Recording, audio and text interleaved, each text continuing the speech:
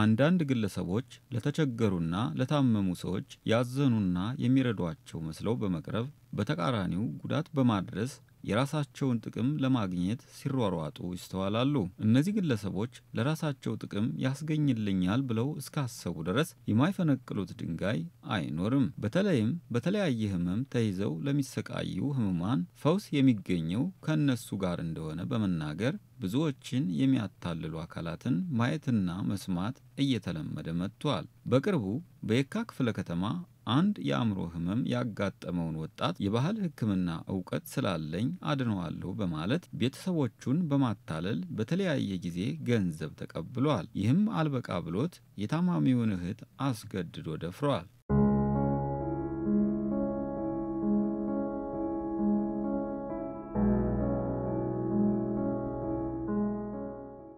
በዚህም በዚያም ብለው በምንም ትምህርት ያላገኙትን እውቀትና ንብረት ለማግኘት የሚጥሩ አካላት የሌሎችን ሕይወት አደጋ ላይ ጥለው ገንዘብ ለማግኘት ሲፈልጉ ይስተዋላል። እውቀቱና ምንም አይነት የሕክምና ፈቃድ ሳይኖረው የታመመውን ወጣት አድነዋለሁ የሚለው ተጠርጣሪ ይሰጡኛል ብሎ ያሰበውን ገንዘብ እስከሚያገኝ ድረስ ለወራት ያህል በቤት ውስጥ እንዲወሰን አድርጎት መቆየቱን ለማህበራዊ ግንኙነታቸው ስንል ማንነታቸውን የማንገልጸው የግል ተበዳይ ይናገራሉ። ልጄ ይታመማል።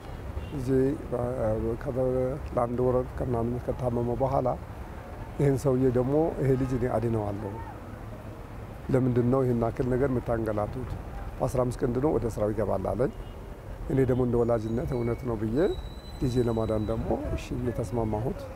ስስማማው መጀመሪያ ምንድን ነው ሰባ ሺህ ብር ትከፍለኛለህ አለ። ሰባ ሺህ ብሩ ከፈልኩት። ወደ አሁኑ ከአዋሽ ባንክ አውጥቼ ሰባት ሺህ ብር ከከፈልኩት በኋላ ቀጠልና ደግሞ ለሁለት ሶስት ቀን በኋላ ጸሎት ይደረግለት ብሎ ቤት መጣ። ቤተኛ ልጁ ልጁ ቤቱ ዘግቶበት ከተቀመጠ በኋላ እየመጣ ምንድን ነው ይሄ ልጅ ለምንድን ነው መፍትሄ የሚያገኝ ስል ጸሎት እየተደረገ ነው ታገሱ፣ በአንድ የሚሆን ነገር አይደለም፣ ብዙ ጸሎት ያስፈልጋል በሚል ለሶስት ወር ድረስ ከመኝታ ሳይወጣ ቆየ። ልጁ ቤት ውስጥ ተዘግቶበት ቀን አይወጣም ማታ አይወጣም። ለሶስት ወር ድረስ ከመኝታ ቆየ። የተለያዩ የማታለያ ዘዴዎችን የሚጠቀመው ይህ ተጠርጣሪ ታማሚው በአንድ ጊዜ አይድንም በሚል ማታለያ በተለያየ ጊዜ ከሰባ ሺህ ብር በላይ ተቀብሎ እንደወሰደባቸውና ከዚህም አልፎ ልጃቸውን እስከ መድፈር መድረሱን የግል ተበዳይ ይገልጻሉ። ገባ ወጣት ማለት ጀመረ። እውነትም ልጄ ድኗል ብዬ እኔም በደስታ እየተዋጥኩኝ በተደጋጋሚ እዛ ውስጥ እያለ ብር አውጣ እያለ በእጁ አምስት ሺህ ብር አራት ሺህ ብር የተለያየ ብሮች በመጠየቅ የተለያዩ ጉዳዮች አሉ እያለ ይቀበለኛል። እኔም ደግሞ ውስጤ ልጄ ማዳን ስለነበረ ሌላ ነገር ሀሳብ በማቋም ስላልነበረ ያን ብር ወጪ እያደረኩ ሰጠው ነበር። በየጊዜው አምጣ ይለኛል፣ እሰጣለሁ። በየጊዜው አምጣ ይለኛል፣ እሰጠዋለሁ። ያን ብር ይቀበላል። ልጁ ግን የሚድንበት ጉዳይ የለም። አባቴ ና ቁጭ በል ንገረኝ፣ ምን እንደምትነግሪኝ እንዲህ እንዲህ እንዲህ እንዲህ ሆኛለሁ ትለኛለች። እንዲህ እንዲህ ሆነሻል፣ እንዲህ እንዲህ ሆነሻል፣ እንዴት እንዲህ እንዲህ ተደፈር እንዲህ እንዲህ ሲጫወትብኝ ኖረ እንዴት አድርጎ እስከ ቤትም እዚህ መኝታ ቤት የገባ እንዴት ሥጋ ግንኙነት እንድትፈጽም ቆየ? እንዴት እንዴት አድርጎ እሱ ልጅ አድናለሁ ብሎ ገብቶ እንዴት አንቺን ደፈረ? ትልቁ ጥያቄ ይሄ ነው። በሌላ በኩል ለማህበራዊ ግንኙነቷ ስንል ማንነቷን የማንገልጽላችሁ የታማሚው እህት በበኩሏ እሷንና ቤተሰቦቿን የሚረዳ መስሎ በመቅረብ የግብረ ሥጋ ድፍረትና ለልጇም ያልሆነ መድኃኒት በመስጠት ጉዳት አድርሶባቸው እንደነበር ጠቁማለች።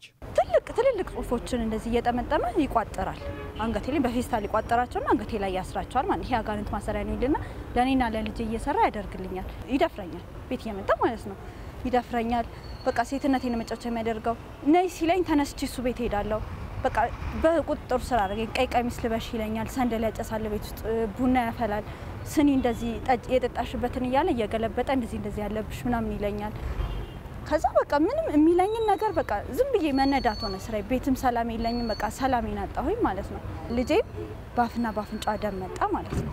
በአፍና በአፍንጫ ደም ሲመጣ ከልጄ አባት ጋር ጸበል ሐኪም ቤት ልወስዳት ነው ስል እንዴት አርገሽ ሐኪም ቤት ወስዳታለሽ ከእሱ ልታገኙ ነው ወይ ብሎ ዛቻ ፈጠረብኝ ማለት ነው። ከዛ አይ ብዬ አልሰማም ብዬ ያው ወደ ራሴ ስለተመለስኩኝ ራሴን ስለማቅ ሐኪም ቤት ወሰድኳት። ከዛ ምን አደረገኝ ሐኪም ቤት በወሰድኳት በሶስተኛው ቀን ምናምን መንገድ ላይ ጠብቁ እያስፈራራኝ ረዥም መንገድ ላይ እየተከተለ እየተጮኸብኝ ምናምን ሲሄድ ወደ ህግ ቦታ መጣሁኝ ማለት ነው። የታመመ ቤተሰባቸውን አድናለሁ ስላለ ብቻ ያለምንም ማረጋገጫ በማመናቸው ለችግር መዳረጋቸውንና በሌሎች ላይም እንዲህ አይነት ወንጀል እንዳይፈጸም ጥንቃቄ መደረግ እንዳለበት የግል ተበዳዮቹ ጠቅሰዋል። እንደ ክፍተት የምናገረው ምንድን ነው? ይህን ሰውዬ አድናለሁ ሲል ለማዳኑ ምን ማስረጃ አለኝ ማለት ነበረው። ለማዳኑ ምን ማስረጃ አለብኝ? ማስረጃ በሌለበት ነገር እኔ ታምኜ ልቀበለው ቻልኩ። ይህ ነው ክፍተት ብዬ ማለት በምን ማስረጃ ነው? ማንን ማን አድኑ ነው? እነማንስ እነማን ድነውበታል? እነዛ ሰዎችን የዳኑ ሰዎችን መጠየቅ ነበረብኝ። ያ ግን እኔ እንደ ወላጅነት እንደ እንትንነት ልጄ በጣም ታሞ ስልም በጣም ጭንቅ ላይ ስለነበርኩ በጣም ምጥ ላይ ስለነበርኩ ያ ነገር አይ እንግዲህ ይድንኛል በማለት ወስኜ ያን ነገር ፈጽሜያለሁ። ሁሉም ሰው ደካማ ጎን አለው። ደካማ ጎናችን ልጃችን ነበረ። ከአቅም በላይ በሆነ ጉዳይ ደካማ ጎናችን እሱ ነበረ። ስህተታችን ምንድን ነው? ሰው ማመናችን ነው። ያልሆነ ሰው ማመናችን ነው። የግል ተበዳዮቹ አቤቱታ ካቀረቡ በኋላ ፖሊስ ተጠርጣሪውን በቁጥጥር ስር በመዋልና በሕግ አግባብ ቤቱ እንዲበረበር በማድረግ የተለያዩ ቁሳቁሶችን በኤግዚቢትነት መያዝ መቻላቸውን የየካ ክፍለ ከተማ ፖሊስ መምሪያ ወንጀል መርማሪ ምክትል ኢንስፔክተር ስንታየሁ መለሰ አብራርተዋል። ቢሉ ቢሉ ምንም ነገር ሊመጣላቸው ስላልቻለ እነሱም ወደ የካ ፖሊስ መምሪያ በመምታት አቤቱታቸውን ያቀርባሉ። እኛም ከዛ በመነሳት ምርመራችንን ጀመረን። ቤቱ ውስጥ ያሉትን ነገሮች ራሱ ለመቆጣጠር እያደረገ ባለበት ጊዜ ላይ እኛም ይህንን ነገር ደግሞ ለፍርድ ቤቱ አሳውቀን በፍርድ ቤቱ መሰረት የብርበራ ትዕዛዝ አድርገን እንዲሁም ደግሞ በተጠርጣሪው ላይ አሉ የሚባሉትን ምስክሮች በማቅረብ በዚህን ጊዜ ላይ በተጠርጣሪው መኖሪያ ቤት ውስጥ እነዚህ የሚቀባቡ ቅመማ ቅመሞች የተለያዩ በአራት እንትኖች አሉ። በዛ በእቃ ውስጥ ተገኝቶበታል። ስለ ባህል ሕክምና ጉዳይ የወንጀል ሕጉ ምን ይላል ስንል ጥያቄ ያቀረብንላቸው በፍትህ ሚኒስቴር የትምህርትና ስልጠናና ንቃተ ሕግ ረዳት ጠቅላይ አቃቢ ሕግ አቶ አያልቅበት ግሩም በወንጀል ሕጉ በግልጽ የተቀመጠ ነገር ባይኖርም ይህንን የሚደግፍ አዋጅ ቁጥር እንዳለ ነው የሚናገሩት። የባህል ሕክምና ማለት ይሄ ነው ተብሎ በግልጽ ተደንግጎ የምናገኘው ፍሬ ነገር አናገኝም። ነገር ግን በተለያዩ ሕጎች ውስጥ የተለያዩ ድንጋጌዎች ተሰጥተውት አንድም ሊሆን ይችላል ሁለት ድንጋጌዎች ውስጥ የሆነ ድንጋጌዎች ብቻ ተደንግጎ ልናገኘው እንችላለን። ለምሳሌ የአስፈጻሚ አካላትን ስልጣንና ተግባር ለመወሰን በወጣው አዋጅ ቁጥር 1263 2014 ላይ ለጤና ጥበቃ ሚኒስቴር የተሰጠ አንድ ስልጣን አለ። አንቀጽ 35 ላይ በግልጽ ምንድን ነው የሚለው? የጤና ጥበቃ ሚኒስቴር መስሪያ ቤት የባህል ሕክምናን ከዘመናዊ ሕክምና ጋር በማቀናጀት ወይም በማስተሳሰር ጎን ለጎን መድኃኒቱ እንዲሰጥ ሊፈቅድ ሊቆጣጠር ሊከታተል ይችላል የሚል አሁን በጠቀስኩት በ1263 2014 በወጣው የአስፈጻሚ አካላት ስልጣንና ተግባር ለመወሰን በወጣው አዋጅ ላይ በግልጽ እናገኘዋለን። ግን እንዴት ይቆጣጠራል? እንዴት ነው አንድ ላይ አስተሳስሮ በቅንጅት ሊሰራ የሚችለው? የትስ ነው የሚሰራው? የባህል ሕክምና ስታንዳርዱ ምንድን ነው? እንዴት ነው certified የሚሆነው የሚለውን ነገር ያው በዚህ አዋጅ ላይ አይገለጽም። አዋጅ ጥቅል ነገር ነው የሚናገረው። ዝርዝር የሆኑ መመሪያዎች ግን ይወጣለታል ይላል። ዝርዝር መመሪያዎች ምናልባት የጤና ጥበቃ ሚኒስቴርንም check ለማድረግ ሞክረን ነበር። ዝርዝር መመሪያዎች የሉትም። ምንም ህጋዊ እውቅና ሳይኖረው አታሎ የታመሙ ሰዎችን አድናለሁ በማለት ገንዘብ የተቀበለ አካል በወንጀል ህጉ ማታለል በሚለው አንቀጽ እንደሚቀጣ ተቀምጧል። ከማታለል ጋር የሚያያዘው ማታለል ሲባል ለሁሉም ነገር ይሰራል። ሁለት አይነት ማታለል አለ። ቀላል ማታለል እና ከባድ ማታለል አለ። ቀላል ማታለል የምንለው በወንጀል ህጋችን አንቀጽ 692 ላይ እናገኛለን። ከባድ ማታለል የሚባለውን ደግሞ በወንጀል ህጋችን አንቀጽ 696 ላይ እናገኛለን ማለት ነው። ይሄ ለሁለቱም ማታለል የሚሰራ ነው። ቀላል ማታለል የምንለው በቀላሉ ከአምስት ዓመት በማይበልጥ እስራትና በመቀጮ ሊቀጣ ይችላል ይላል። ከባድ ማታለል ግን ቀደም ሲል በወንጀል ህጋችን 696 ስር የተገለጸው ድንጋጌ በተለይ ከመንግስት ስራ ጋር በተገናኘ ወይም ደግሞ የመንግስት ሰራተኛ ከሆነ ይህን ወንጀል የፈጸመው ይሄ እምነት የጣለበት የመንግስት ሰራተኛ የጣለበት የመንግስት ሰራተኛ ከሆነ ወይም ደግሞ ይሄ ማታለሉ የተፈጸመው በህዝባዊ አገልግሎት በመንግስት መስሪያ ቤት ላይ ጉዳት በሚያደርስ መልኩ ከሆነ ከባድ ማታለል ይባላል ይላል። ከባድ ማታለሉ ግን ምንድን ያደረገው ህጉ ወደ ሙስና ወንጀሎች ወስዶታል። በደረቁ የወንጀል ህጋችን የነበረውን ከባድ ማታለል በተለይ ከእምነት ማጉደል ጋር ያለውን ነገር አያይዞ ቀጥታ ወዴት ነው የወሰደው? ወደ ሙስና ወንጀሎች። የሙስና ወንጀሎችን ለመደንገግ የወጣ አዋጅ ቁጥር 881 2007 አንቀጽ 32 ስር በግልጽ እናገኛለን። ቅጣቱ ከ3 ዓመት እስከ 10 ዓመት በሚደርስ ጽኑ እስራት እንዲሁም ከ3 ሺህ ብር እስከ 30 ሺህ ብር በሚደርስ መቀጮ ይቀጣል። ይሄ ከከባድ ማታለል ጋር የተገናኘ ከሆነ ነገር ግን አብዛኞቹ እነዚህ የባህል ሕክምና የሚሰሩት ሰዎች የሚፈጽሙት ወንጀል የመንግስት ሰራተኞች ላይሆኑ ይችላሉ። በአብዛኛው የሚያሳዩት ምርመራው ማለት ነው። በሌላም መልኩ የታመመ ሰውን አድናለሁ በሚል ምክንያት በታማሚው ወይም በታማሚው ቤተሰቦች ላይ የግብረ ስጋ ግንኙነት ድፍረት፣ በደል ያደረሰ አጥፊ የሚጠየቀው በአስገድዶ መድፈር ወንጀል ነው።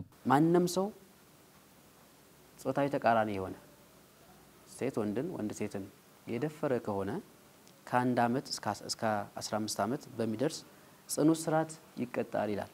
ነገር ግን የተደፈረው ሰው ደግሞ የአእምሮ ህመምተኛ ከሆነ በሽተኛ ከሆነ ራሱን መከላከል የማይችል ከሆነ ከ15 ዓመት በላይ እስከ 20 ዓመት ድረስ ሊያስቀጣ የሚችል ጽኑ እስራት ሊያስቀጣ የሚችል መሆኑን በግልጽ በወንጀል ህጋችን አንቀጽ 620 ና ተከታዩ ድንጋጌዎች ስር በግልጽ ተደግገው እናገኘዋለን ማለት ነው።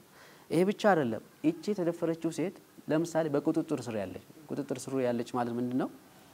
ለምሳሌ አሳዳጊዋ ከሆነ መምህሯ ከሆነ ወይ ደግሞ ስፖርት የሚያለማመዳት ሰው ከሆነ ወይ ደግሞ አካሚዋ ከሆነ ሊያክማት ያመጣት ሴት ከሆነች በቀላሉ ራሷን የማትቆጣጠር ታካሚ የሆነች ሴት ከሆነች የተደፈረችው ደግሞ ቅድም እንዳለው በእድሜ ልክ ጽኑ እስራት ጭምር ሊያስቀጣ መሆኑን የሚያሳየው ማለት ነው። ስለዚህ ከመድፈሩም በላይ ተደፋሪዋ ምንድናት?